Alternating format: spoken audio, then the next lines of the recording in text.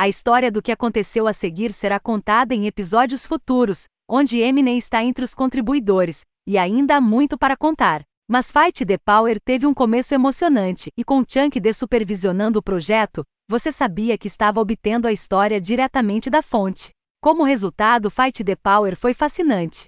Cortando o clichê do documento musical, ele apresentou um retrato de rua das décadas de formação da música rap. A abertura investigou como a campanha de Martin Luther King pela igualdade foi seguida em Nova York pela Voa Branca. A cidade foi abandonada pelos poderes constituídos e os negros também foram deixados para trás. Vimos as instituições ao nosso redor desmoronando, disse KRS-One. Essa, porém, é a abordagem correta, e sinaliza que Fight the Power tratará seu tema com respeito e o rigor que merece, o que não surpreende, já que Chunk D, do Public Enemy, é produtor executivo e também um dos principais entrevistados.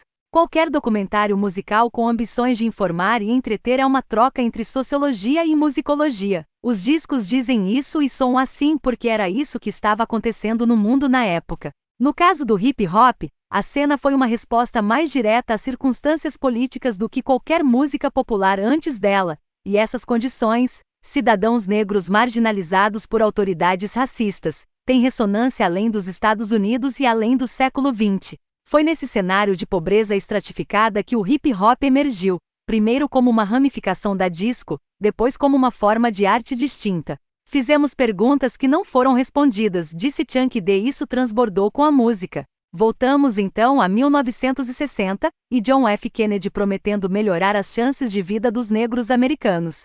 No final da década, seus líderes foram assassinados ou presos, seus movimentos políticos infiltrados e minados, seus familiares convocados para o exército dos Estados Unidos e mortos no Vietnã, seus protestos violentamente reprimidos. Nomes de luta contra o poder Say It Loud, I'm Black and I'm Proud de James Brown, Is It Because I'm Black de S.Y.L. Johnson e Seis The time da futura líder do Partido Pantera Negra Elaine Brown como evidência do espírito revolucionário que, permeia discos lançados em 1969. A década de 1970 começou com The Last Poets e Gil Scott Aaron prefaciando o hip hop falando, não cantando, sobre o poder negro em discos com Revolução no título. A excelente lista de contribuidores do Fight the Power, KRS-One, Grande Mastercais, Mel da Rio MC Daniels do Han DMC e de fato, a Biodun Oyevole, do The Last Poets, relembra uma década em que a consciência negra continuou a crescer, impulsionada pela corrida de Shirley Chisholm para a presidência em 1972 sob o slogan Umboga and Umbosed, e em reação menos à violência aberta do Estado e mais à opressão administrativa.